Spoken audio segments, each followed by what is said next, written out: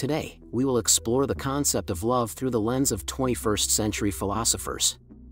Yes, philosophers are still very much alive and thriving.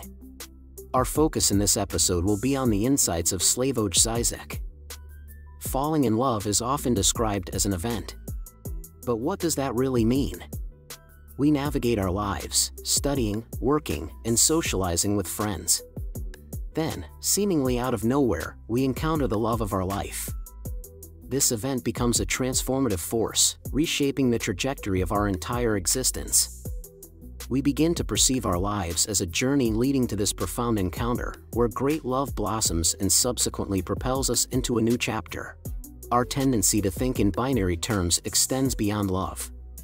Take, for example, the disposal of unnecessary items. We toss them into the bin, the garbage truck whisks them away, and we assume they vanish.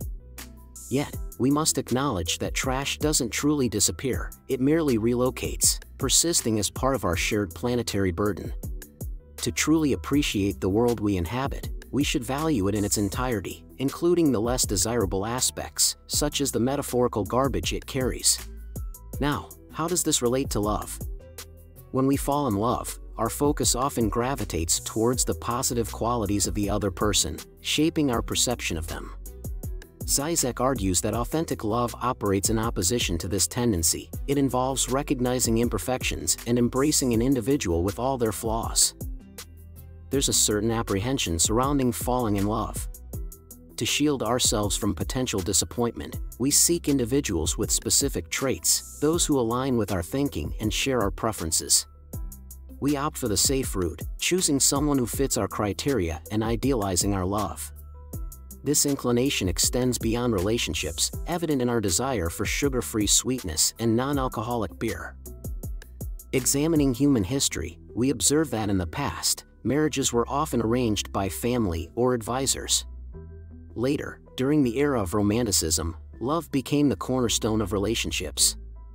However, are we not now reverting to a pre-romantic mindset?